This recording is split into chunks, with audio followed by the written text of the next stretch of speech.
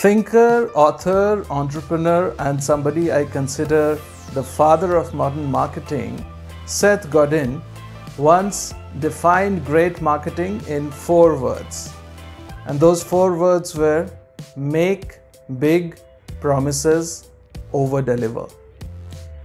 I like to say the same thing slightly differently, more so in today's context when the jostle for attention has become very, very intense for brands in the physical spaces as well as uh, digital spaces. I like to say that great marketing happens when brands tell interesting stories and over deliver. It's still four words tell interesting stories over deliver. But then again, as Seth Godin says, just because it's four words doesn't mean it's easy. As far as brands and marketers are concerned, what is the process of storytelling? More importantly, how does one start?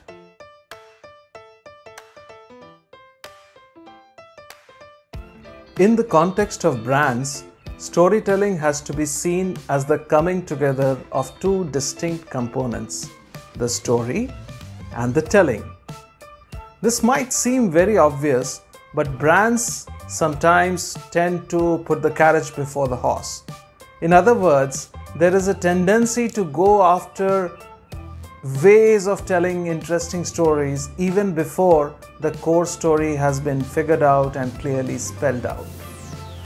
Every brand needs to find its core story, not stories, but its own core story. And in order to figure out what the core story can be for a brand, who better to turn to than the two gentlemen called Al Ries and Jack Trout, who introduced us to the idea of positioning decades ago.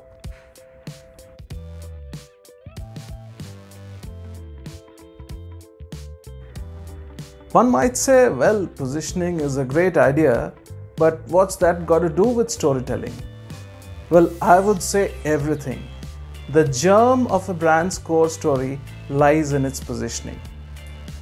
If we look at the positioning statements of uh, great brands, brands that are great storytellers, it's clear that the stories they tell originate from their positioning statement.